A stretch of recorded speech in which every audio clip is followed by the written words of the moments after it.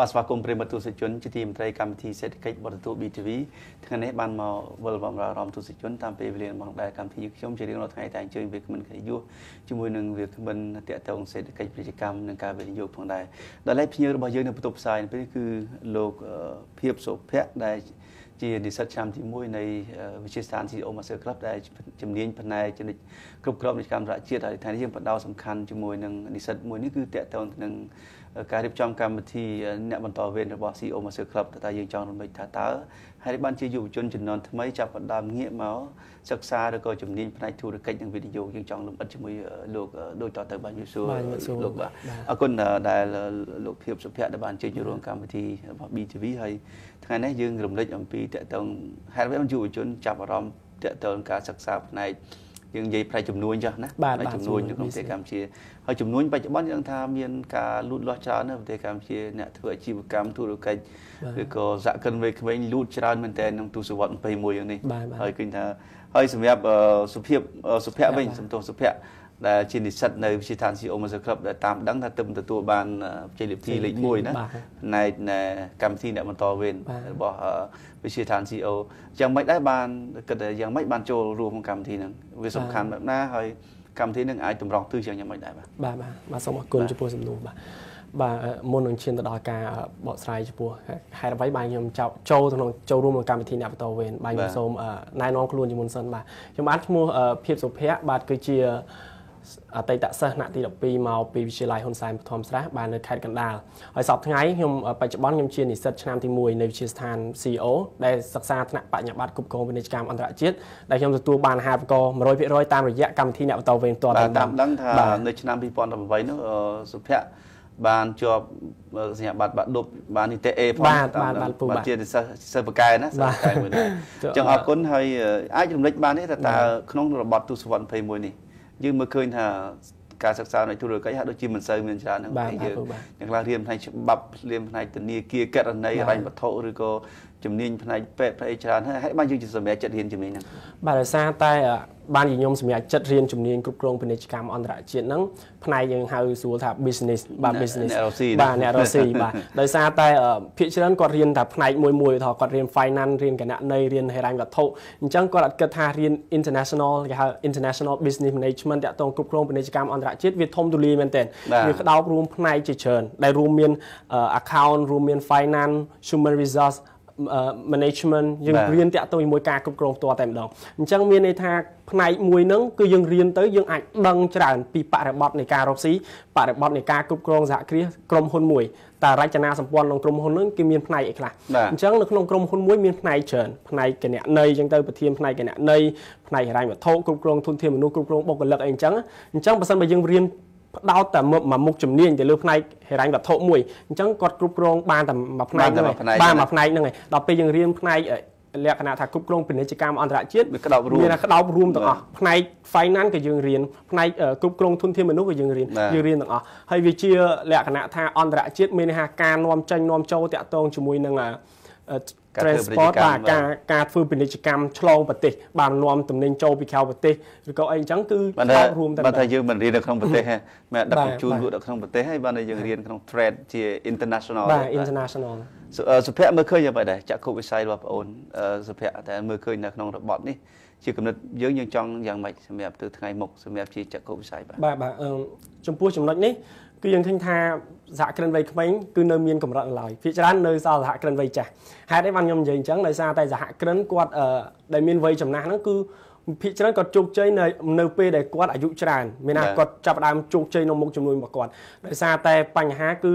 បញ្ហាបត់ពិសោធន៍មានន័យថាគាត់ចេញទៅគាត់ធ្វើហើយ ពេលដែលធ្វើខុសគាត់យករៀនពីបទពិសោធន៍របស់គាត់អញ្ចឹងគាត់ខុសច្រើនដងដល់ពេលអញ្ចឹងរហូតទៅដល់គាត់ចាស់អាយុ50 60ឆ្នាំបានគាត់ចាប់ផ្ដើមជោគជ័យក្នុងអាជីវកម្មប៉ុន្តែសម្រាប់អ្នករៀនដែលបានរៀនពីមូលដ្ឋានគ្រឹះនៃការរកស៊ីហ្មងគឺដំបូងឡើយគាត់ចេញត្រូវចេញធ្វើការឲ្យគេសិន ហហេតុអីបានត្រូវធ្វើការគេដោយសារតែដើម្បីទទួលយកបទពិសោធន៍ដើម្បីរៀនអំពីមេរបស់យើងយើងរកក្រុមហ៊ុនដែលល្អមួយហើយរៀនពីមេរបស់យើងរបៀបក្នុងការដំណើរអាជីវកម្មដល់ពេលបាទដឹកនាំអញ្ចឹងជាក់ស្ដែងនៅវិទ្យាស្ថាន CEO ក៏ក៏ឲ្យអញ្ចឹងបានឲ្យហាត់ការនៅឆ្នាំទី2ដើម្បីឲ្យឲ្យសិស្សទាំងអស់សិស្សនិស្សិតទាំងអស់គឺមានឱកាសក្នុងការចុះហាត់ការងារផ្ទាល់ខ្លាយជា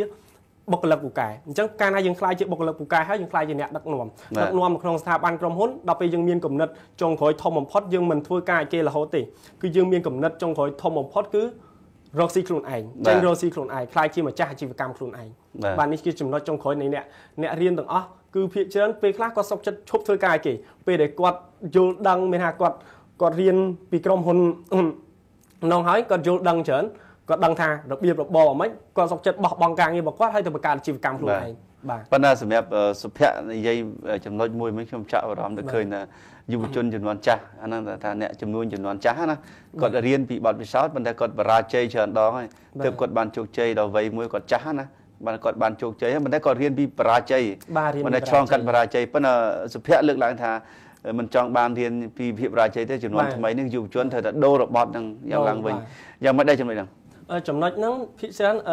សហគ្រិនវ័យក្មេងខ្ញុំដូចខ្ញុំបញ្ជាក់ពីខាងដើមសហគ្រិនវ័យក្មេងអត់សូវមានទេហេតុបានអត់សូវមានដោយសារតែគាត់អត់ហ៊ានគាត់អត់ហ៊ានបថុយបឋានគាត់គិតថាគាត់អត់មានសមត្ថភាពហើយភាគច្រើនគាត់អត់រៀនផ្នែករស់ស៊ីទេគាត់រៀនផ្នែកអីផ្សេងអញ្ចឹងណាគាត់រៀនផ្នែក business ហ្នឹងអញ្ចឹងគាត់យល់ពី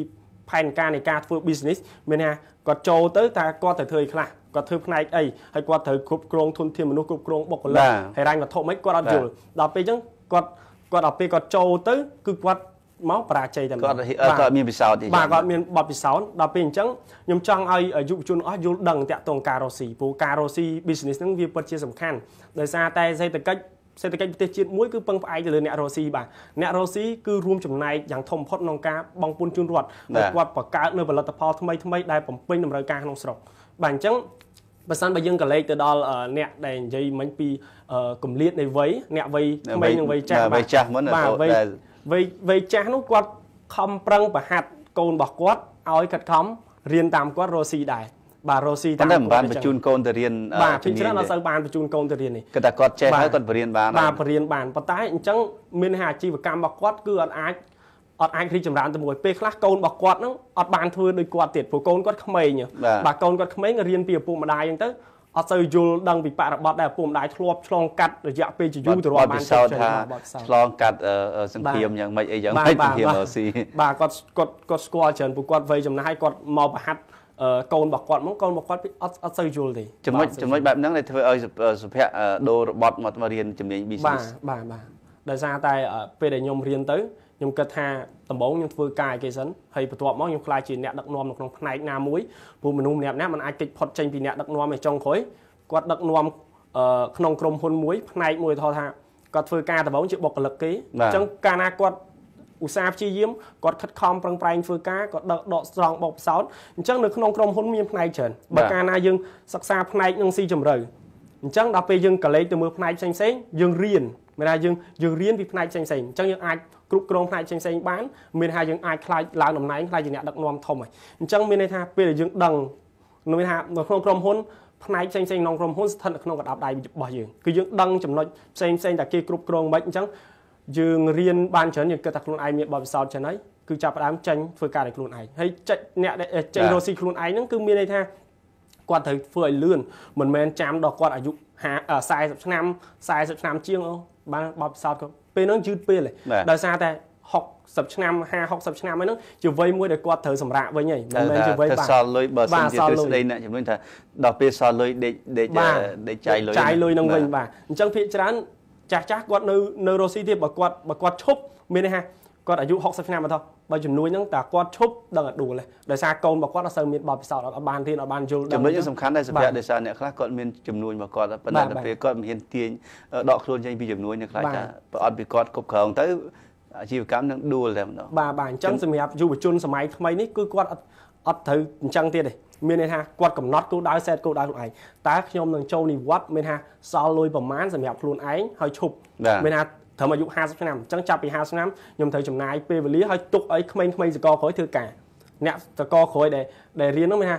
អ្នករលកក្រោយនេះច្រើនរលកមុនហើយអញ្ចឹងយើងផ្ដល់ឱកាសពួកគាត់អាចមានសមត្ថភាពធ្វើល្អជាងយើងទៀតបាទព្រោះអ្នកជំនាន់ក្រោយៗហ្នឹងគឺមានសមត្ថភាពធ្វើល្អជាងយើងអញ្ចឹងយើងផ្ដល់ឱកាសឲ្យគាត់ធ្វើហើយយើងសម្រាប់ទៅព្រោះយើង set គោលដៅថាត្រឹមអាយុប៉ុណ្ណឹងខ្ញុំមានលុយប៉ុណ្នេះខ្ញុំមានទ្រព្យសម្បត្តិប៉ុណ្នេះដោយសារបានពីកម្លាំងនេះជាងនៃការរកស៊ីរបស់ខ្ញុំអញ្ចឹងខ្ញុំខ្ញុំឈប់ហើយ អញ្ចឹងយើងយើងកំណត់ set គោលដៅកុំរហូតដល់អត់អត់ព្យាយាមបណ្ដោះបណ្ដាលអ្នកជំនាន់ក្រោយទេអត់ព្យាយាមយកអ្នកជំនាន់ក្រោយឲ្យមកហាត់ការជាមួយខ្លួនឯងដល់ពេលអញ្ចឹងដល់ពេលអស់ពីគាត់ទៅគឺក្រុមហ៊ុនគាត់ដកខ្លួនចេញអត់រួចអញ្ចឹង ខាងអញ្ចឹងបានវាអត់មានអ្នកបន្តវេនដូចជាលើកឡើងមិញនឹកឃើញកម្មវិធីរបស់វិទ្យាសាស្ត្រ TO រៀបចំគឺសំខាន់មែនទែនសំខាន់តាមខ្ញុំស្ដាប់ដឹងថាបន្តឲ្យយុវជនចំនួនក្រោយនឹងអាចមានឱកាសដើម្បីដឹកនាំអង្គភាពស្ថាប័នអញ្ចឹងបើតួអង្គមួយមួយគិតថាវាអត់ពីគាត់ទៅគ្មានបណ្ណាធ្វើការតួគាត់ណាអញ្ចឹងបើមិនព្រមបណ្ដុះអ្នកជំនាន់ក្រោយឱកាសរបស់គាត់គឺត្រូវបានអ្នកខំកសាងមកបាត់ទៅវិញអស់លីងបាទបាទបាទ បាទអឺសុភ័ក្រមើលឃើញយ៉ាងម៉េចសម្រាប់វិជាឋាន CO Master Club កន្លងទៅយើងឃើញថាមានការ បើកវគ្គបណ្ដុះបណ្ដាលជាឥឡូវយើងមានសាកលវិទ្យាល័យហើយឃើញមានជំនាញវិជាគ្រប់គ្រងវិជ្ជាកម្មរកជាតិហើយមើលទៅនិស្សិតយើងរៀនច្រើនណាជាយុវជនជំនាន់ថ្មីដូចជាវ័យរបស់សុភ័ក្រមានរៀនច្រើនយុវជនយើងភាគច្រើនគាត់គាត់រៀនដោយសារឲ្យភាគច្រើនខ្ញុំតាមគាត់យល់ដូចសុភ័ក្រហ្នឹងដែរបាទបាទគាត់យល់ដូចគ្នាហើយភាគច្រើនឪពុកម្ដាយរបស់គាត់សុទ្ធតែជាម្ចាស់ជីវកម្មផ្ទាល់តែម្ដងអញ្ចឹងដល់ពេលតាមដែលរយៈខ្ញុំសួរគាត់ទៅហេតុអីបានជាគាត់មករៀនហើយគាត់មិនបានជាមិនបន្តពុកម្ដាយរបស់គាត់ចង់ឲ្យគាត់នឹងគ្រប់គ្រងអាជីវកម្ម បន្តពីពុកម្ដាយរបស់គាត់តែម្ដងតែគាត់នៅតែមករៀនហេតុអីដោយសារគាត់គិតថាចេះគាត់អត់ចង់លក្ខណៈថាបែបបុរាណការរស់ស៊ីពីឪពុកម្ដាយគាត់ទៀតទេគាត់ចង់អភិវឌ្ឍឬក៏បង្កើតអ្វីដែលថ្មីសម្រាប់ខ្លួនឯងហើយរស់ស៊ីទៅតែម្ដងអញ្ចឹងគាត់ចាប់អារម្មណ៍ទៅលើវិទ្យាស្ថាន CEO ដោយសារតែវិទ្យាស្ថាន CEO គឺជាជាវិទ្យាស្ថានមួយដែលបើកថ្នាក់បញ្ញាបត្រគ្រប់គ្រងពាណិជ្ជកម្មអន្តរជាតិហើយ focus ទៅលើជំនាញនឹងតែមួយអត់ទាន់ជំនាញផ្សេងអញ្ចឹងកាលណាគាត់ focus ទៅលើជំនាញនឹងមួយមានន័យថា ស្រះសាចាគឺសុទ្ធតែជាម្ចាស់ជីវកម្មផ្ទាល់តែម្ដងស្រះសាចាជាម្ចាស់ជីវកម្មផ្ទាល់អញ្ចឹងគាត់គាត់ដឹងគាត់មានបទពិសោធន៍ច្រើនដល់ពេលអញ្ចឹងគាត់យកមកបញ្យលចំចំបទពិសោធន៍របស់គាត់ភាពជោគជ័យភាពបរាជ័យគាត់រៀបរាប់ប្រាប់យើងឲ្យគាត់បរៀន បរៀនយើងធ្វើហ្មងបាទបរៀនយើងធ្វើផ្ទាល់ផ្ទាល់ហ្មងមិនគ្រាន់តែរៀនទ្រឹស្ដីទេបាទរៀនអនុវត្តបានបាទអនុវត្តព្រោះយើងចាប់ដើមអនុវត្តចាប់ពីឆ្នាំទី2បាទមើលទៅស្តង់ដារវាយើងមិនចាញ់បរទេសណាការការអប់រំរបស់យើងការបណ្ដុះបណ្ដាលរបស់យើងសុភ័ក្រមានជំនាញខាងជំនួញទេឪពុកម្ដាយសុភ័ក្រឪពុកម្ដាយខ្ញុំអត់មានខាងជំនួញទេបាទសម្រាប់នេះគឺជាគំនិតរបស់ខ្ញុំហ្មងបាទខ្ញុំចាប់មកដើមខាងជំនួញនឹងវិញបាទបាទអញ្ចឹងសម្រាប់សុភ័ក្រមើលទៅអាចថាបើយើងចប់បញ្ញាបត្រគ្រប់គ្រងវិជ្ជាកម្មរដ្ឋជាតិយើងជាចក្ខុវិស័យរបស់យើងយើង អាចថាយើងគិតថាយើងជាផ្នែកមួយសំខាន់នៃការវត្តធនធានមនុស្សឬធនធានផ្នែកធុរកិច្ចយ៉ាងម៉េចដែរបាទសម្រាប់ខ្ញុំខ្ញុំចាប់អារម្មណ៍ទៅលើវិស័យអប់រំហើយក៏ដូចជាការបណ្ដុះបណ្ដាលអ្នកចំនួនក្រោយហ្នឹងគឺខ្ញុំចាប់អារម្មណ៍មែនទែនដោយសារបើសិនបើអូថខ្ញុំចប់ថ្នាក់បញ្ញាបត្រអញ្ចឹងខ្ញុំមានបទពិសោធន៍ធ្វើការចុះហាត់ការរយៈពេល3 3ឆ្នាំអញ្ចឹងមានថាខ្ញុំអាចសិក្សាស៊ីជម្រៅពីក្រុមហ៊ុនមួយដែលខ្ញុំកំពុងតែធ្វើការហ្នឹងហើយខ្ញុំចាប់ដើមចេញរកស៊ីខ្លួនឯងបើការរកស៊ី គឺខ្ញុំចាប់អារម្មណ៍ទៅលើវិស័យអប់រំដោយសារតែវិស័យអប់រំវាពិតជាសំខាន់សម្រាប់ប្រទេសកម្ពុជាក៏ដូចជាប្រទេសផ្សេងផ្សេងទូទាំងពិភពលោកយើងអាចបង្កើតជាការបណ្ដុះបណ្ដាលបាទជាអ្នករកស៊ីចំនួនក្រោយដូចជាជាស្ថាន CEO អញ្ចឹងគឺគាត់មានថាលោកអមសេងបារាគាត់គឺជាស្ថាបនិកជាស្ថាន CEO ក៏ដូចជា CEO Master Club គឺគាត់ជាអ្នកគាត់ជាអ្នករកស៊ីមួយអ្នកដឹកនាំធុរកិច្ចកម្ពុជាអញ្ចឹងសួរហើយ អញ្ចឹងគាត់ចង់បណ្ដោះបណ្ដាលក្មេងៗចំនួនក្រោយបានគាត់ខិតខំបង្កើតបាទជា CEO Master Club បង្វឹកអ្នកដឹកនាំអ្នករ៉ូស៊ីបាទដែលចាស់ចាស់ហ្នឹងភាគច្រើនអ្នករ៉ូស៊ីចាស់ចាស់ទៅរៀននៅ CEO Master Club បំពេញបន្ថែមចំណេះដឹងបាទបំពេញបន្ថែមចំណេះដឹងដល់ពេលខាងអ្នកថ្មីថ្មីដូចពួកខ្ញុំចំនួនក្រោយអញ្ចឹងគឺទៅរៀនជាស្ថានបាទថាជាអ្នកបន្តវេនឧទាហរណ៍ថា នៅពេលវេលាណាមួយអត់ពីលោកអមសេងបារាអត់ទៅយើងមានយើងអ្នកបន្តវេនយើងគឺជាធនធានរបស់លោកអមសេងបារាអញ្ចឹងទៅបាទបាទគឺគាត់ខិតខំបដោះបដាមែនទែនបាទមើលទៅសុភ័ក្រចាប់អារម្មណ៍ទេសម្រាប់យុវជនយើងអាចថានឹងជំរុញគាត់យ៉ាងម៉េចឲ្យគាត់យល់ច្រើនអំពីបរិយាកាសវិនិយោគនៅប្រទេសកម្ពុជា គាត់ដឹងថាលើសេដ្ឋកិច្ចយើងរីកចម្រើនហើយបាទអាជីវកម្មយើងរកស៊ីដើរមិនទាន់សម័យភាវូបនីយកម្មទេគឺថាយើងអាចយើងចាញ់គេពិសេសយើងសុភ័ក្របានដឹងហើយអំពីការធ្វើសមារណកម្មសេដ្ឋកិច្ចអាស៊ានដែលយើងបានសមារណកម្មកាលពីថ្ងៃ31ធ្នូ2006ណាបើថារបាំងទាំងអស់គឺថាបានបើកទ្វារអស់ហើយលែងមានរបាំងអស់ហើយប៉ុន្តែបើធនធានមនុស្សរបស់កម្ពុជាសុភ័ក្រអាចថាបដិញ្ញាចិត្តចាប់ពីពេលនេះទៅនឹងអាច អភិវឌ្ឍខ្លួនឯងមើលទៅសុភ័ក្ររំពឹងថាយើងនឹងមានបង្កើតអីថ្មីសម្រាប់របស់ជាតិយើងនេះអាចទៅមុខទៀតបាទនេះគឺជាចំណុចដែលខ្ញុំគិតតាំងពីយូរហើយថាបាទបើសិនបើយើងមានថាលក្ខណៈថាយើង copy ពីគេ បាទមានន័យថាជីវកម្ម copy បាទជីវកម្ម copy មានថាយើងអត់មានគំនិតតខ្លួនគឺយើងឃើញគេធ្វើអីរីចម្រើនផុសផុលគេលក់ដាច់អញ្ចឹងយើងទៅតាមក្រោយគេដែរអញ្ចឹងដែលបើកហើយវាធ្វើឲ្យបរាជ័យអញ្ចឹងប៉ុន្តែខ្ញុំអត់ទាន់បាន focus ថាតើចំណុចចំណុចណាឬក៏អាជីវកម្មប្រភេទមិនដែរនេះទេសំខាន់គឺខ្ញុំព្យាយាមអភិវឌ្ឍខ្លួនឯងបច្ចុប្បន្នសិនព្រោះថាបើសិនបើយើងរៀនផ្នែកគ្រប់គ្រងពាណិជ្ជកម្មក៏ដូចជាផ្នែក business យើងក៏គិតថាចប់ទៅខ្ញុំអត់មានការងារធ្វើយើងអត់អីចឹងណាគឺ សំខាន់សមត្ថភាពកាលណាយើងមានសមត្ថភាពពិតប្រាកដយើងអាចគ្រប់គ្រងបានយើងអាចក្លាយជា manager គេព្រោះយើងរៀនខាងផ្នែក management មិនខ្វះការងារទេបាទខ្វះទេការងារការងារឱកាសការងារគឺមានច្រើនសម្រាប់អ្នកដែលមានសមត្ថភាពបាទប៉ុន្តែបើគាត់អត់មានសមត្ថភាពហើយគាត់ត្អូញត្អែថា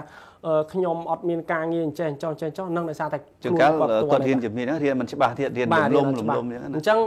បើយើងក៏លេខទៅមើលប្រទេស ជុំវិញពិភពលោកភាគច្រើនអ្នករស់ស៊ីពេលដែលគាត់ខ្លាយជាសេដ្ឋីមហាសេដ្ឋីហ្នឹងគឺគាត់សុទ្ធតែអ្នករស់ស៊ីទាំងអស់អញ្ចឹងតែគាត់ជួយអភិវឌ្ឍប្រទេសជាតិរបស់គាត់ចិត្តម៉ែគាត់ជាគ្រូបរិញ្ញាណាបាទគាត់ជាគ្រូបរិញ្ញាគាត់ចាប់ផ្ដើមបើកអាជីវកម្មមកអាលីបាបាល្បីទូទាំងពិភពលោកទូទាំងពិភពហើយនរណាគេក៏ប្រើប្រាស់របស់គាត់ដែរបាទទូទាំងពិភពលោកអញ្ចឹងជាកំណត់របស់សុភ័ក្រគឺថាចង់នៅពេលយើងចប់ទៅយើងចង់វិនិយោគលើការអប់រំសិនបាទបាទ វិស័យអប់រំដោយសារតែវិស័យអប់រំក៏ដូចជាយើងការបើកជាវិទ្យាស្ថានបើកសាលាស្រាប់តែចង់បន្តវេនលោកអមសេមរាយ៉ាងម៉េចអឺជាលក្ខណៈបែបហ្នឹងដែរខ្ញុំខ្ញុំយកគាត់ធ្វើជា idol មួយដែរបាទមានថាយកគាត់មានថាគាត់ជាបុគ្គលម្នាក់ដែលជោគជ័យហើយគាត់ចង់បណ្ដោះបណ្ដាលធនធានជំនាន់ក្រោយឲ្យចេះពីរបៀបនៃការធ្វើជំនួញការរកស៊ីនឹងទៀតបាទ បាទសុភ័ក្រដែលសារអស់ពេលខ្ញុំជូនហើយភ័ក្រប្រហែលចិត្ត1នាទីប្រហែលជាមានអីសារខ្លីចុងក្រោយសម្រាប់ស្ថានភាពបច្ចុប្បន្នឥឡូវកម្ពុជាយើងមានសុខសន្តិភាពពេញលេញហើយយុវជនគួរគុំមើលរំលងរំលងនេះថាគួរតែប្រឹងយ៉ាងម៉េចដើម្បីឲ្យឱកាសហ្នឹងបានចូលដល់ខ្លួនយើងហើយអាចធ្វើឲ្យយើងរីកចម្រើនទាំងអស់គ្នាសូមជ័យបាទជាឱកាសចុងក្រោយខ្ញុំខ្ញុំសូមអឺ ថ្លែងអំណរគុណទៅដល់ស្ថានីយ៍ទូទួល BTV បាទដែលបានផ្ដល់ឱកាសខ្ញុំមកចែកម្លែកបទពិសោធន៍បាទតាក់ទងកម្មវិធីអ្នកបន្តវេនបាទក៏ដូចជាវិស័យសេដ្ឋកិច្ចជំនួញនេះបាទគឺយុវជនសម័យក្រោយគួរតែចាប់អារម្មណ៍ទៅលើវិស័យជំនួញបាទការរកស៊ីនេះពីព្រោះពិតជាសំខាន់គ្មាននរណាម្នាក់ដែលអាចបាទធ្វើការឲ្យគេពេញមួយជីវិតទេ បាទគឺគាត់ចុងក្រោយគឺគាត់ច្បាស់ជាមានកំណត់រស់ស៊ីហើយគាត់មានកំណត់រស់ស៊ីអញ្ចឹងកាលណាបើគាត់មានកំណត់រស់ស៊ីគាត់គួរតែខ្សែគប់ជាមួយអ្នករស់ស៊ី បាទអ្នកយើងចង់ខ្លាយជាអ្វីខ្សែគប់មួយអ្នកហ្នឹងឧទាហរណ៍អ្នករ៉ូស៊ីគឺយើងអាចខ្សែគប់ជាមួយជាស្ថាន CEO ដែលមានលោកអមសេងបូរ៉ាផ្ទាល់គាត់ជាស្ថាបនិកហើយគាត់ជាអ្នករ៉ូស៊ីអ្នកដឹកនាំផ្នែកធុរកិច្ចហ្នឹងអញ្ចឹងយើងអាចរៀនពីគាត់មកផ្លាស់ប្ដូរបទពិសោធន៍មករៀនជាមួយវិទ្យាស្ថាន CEO ក៏ដូចជាពេលយើងចប់យើងពេញបន្ថែមជាមួយ CEO Master Club គឺវាពិតជាសំខាន់ហើយខ្ញុំចង់ឲ្យយុវជនសម័យក្រោយគឺគាត់អឺមកកលេចមកចាប់អារម្មណ៍ថាផ្នែកគ្រប់គ្រងពាណិជ្ជកម្មអន្តរជាតិនេះមិនមែនជាផ្នែកមួយដែល ដែលតូចតាចទេបើយើងគិតទៅយើងរៀនថាអូរៀនគណនេយ្យធ្វើការនៅក្នុងធនាគារធ្វើការចេះវាល្អប៉ុន្តែបើយើងរៀនផ្នែកនេះគឺរៀនក្តោបរួមតែម្ដងវាធំមែនតើវារៀនក្តោបរួមហើយក៏ដូចជាអ្វីដែលសំខាន់សម្រាប់ជំនាញជំនាញមួយនេះគឺសំខាន់គឺ willing របស់យើងមានថាការឆន្ទៈរបស់យើងថាយើងចង់ចង់រៀនខ្លាំងមែនទែន តាក់ទងទៅនឹង business admin តាក់ទងអីហ្នឹងគឺយើងគ្រប់គ្រងហ្នឹងបើយើងចង់មែនទែនគឺយើងអាចរៀនបានហើយហើយអ្វីដែលខ្ញុំចង់ជាសារចុងក្រោយសម្រាប់សិស្សថ្នាក់ទី12ក៏ដូចជាអ្នកចំនួនក្រោយដែលដែលនឹងចូលមកសាកលវិទ្យាល័យគឺគាត់ពង្រឹងភាសាអង់គ្លេសដោយសារតែភាសាអង់គ្លេសវាពិតជាសំខាន់ដោយសារតែយើងរៀននៅសាកលវិទ្យាល័យមួយណាក៏ដោយផ្នែកណាក៏ដោយក៏វាត្រូវការភាសាអង់គ្លេសដែរព្រោះយើងរៀន ពីបរទេសយើងយកឯកសារពីបរទេសមករៀនផ្នែក management ផ្នែកអីចឹងរៀនជាភាសាអង់គ្លេសអញ្ចឹងត្រូវការភាសាអង់គ្លេសជាចាំបាច់អញ្ចឹងយើងត្រូវបរឹងបន្ថែមភាសាអង់គ្លេសចុះអរគុណសុភ័ក្រចានបានជួយចូលកម្មវិធីយើងថ្ងៃនេះអរគុណសុភ័ក្របាទទស្សនិកជនជាទីមេត្រីលោកអ្នកបានទស្សនាការលើកឡើងរបស់លោក ភាពសុភ័ក្រដែលជានិស្សិតឆ្នាំទី1នៃវិទ្យាឋាន CO Master Club ដែលបានលើកឡើងពីគន្លឹះសំខាន់សំខាន់នៃការតាក់ទាញឬក៏ការចាប់អារម្មណ៍របស់យុវជនជំនាន់ថ្មីលើផ្នែកជំនួយឬក៏ធុរកិច្ចនេះគឺជាដំណឹងមួយល្អថាយុវជនជំនាន់ថ្មីរបស់យើង